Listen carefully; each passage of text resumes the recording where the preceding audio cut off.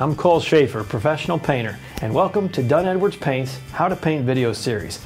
You know, believe it or not, painting a ceiling can be a simple process if the ceiling is not exceptionally high. In this video, I'll show you the right way to paint a ceiling, plus I'll give you some time-saving tips.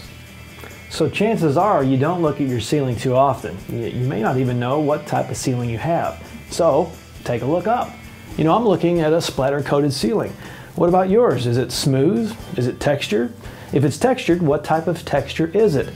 Is it splatter coated or knockdown or is it acoustic like popcorn? Well, these answers will determine how you approach painting your ceiling. If your ceiling is textured and you want to keep this look, it's best to use spray equipment to paint the ceiling. Now, we recommend that you consider hiring a professional painting contractor for this type of project. Now, you may decide to remove the ceiling texture, and again, we would recommend using a paint professional now make sure that your contractor is qualified to perform this type of work. Now if you have drywall ceiling, but it looks like you could use a makeover, you may want to hire a drywall contractor to do what is called a skim coat to make it smooth before you begin painting. And before you hire someone, we do encourage you to visit your neighborhood Dunn Edwards paint store. We may have a solution that works for you. Finally, if your ceiling is smooth and it's in good shape, guess what? You're ready to paint. Now you'll need to purchase a half inch roller cover, roller handle, and extension pole along with your Dunn Edwards premium paint.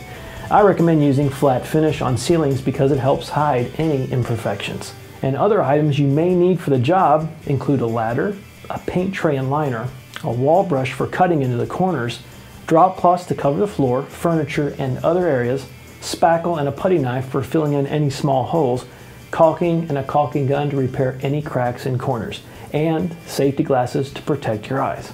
So once you have all these items, you'll want to prep your room. And you can learn how to properly prep a room for painting by watching our Prepping a Room for Painting video located on dunnedwards.com forward slash videos. So when you're ready to start painting, be sure to change into some work clothes you don't mind getting paint on. This includes your shoes and grabbing a hat to keep your head and hair protected.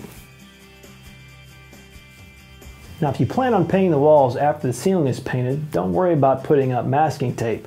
Then, as you paint the walls, you can create a clean straight line with the tape.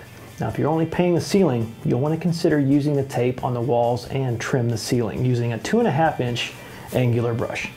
So the first step is to pre-wet your roller cover to dampen it before painting as it will allow you to pick up and release paint more easily. Next, attach your roller handle to an extension pole.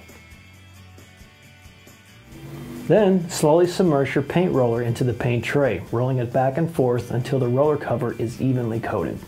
So now you'll want to roll the ceiling in small sections, beginning in one corner and rolling across the ceiling to any adjacent corner. Now depending on whether you're painting the walls or not, you can use your roller to paint corners by simply rolling along the edge of the corner. This allows you to skip trimming corners with a brush and will save you some time. And replenish the paint on the roller as needed to spread paint evenly until the entire ceiling is painted.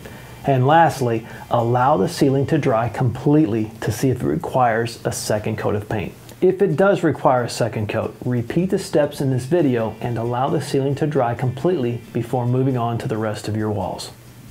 For all of us here at Dunn Edwards Paints, I'm Cole Schaefer. Thanks for watching and happy painting.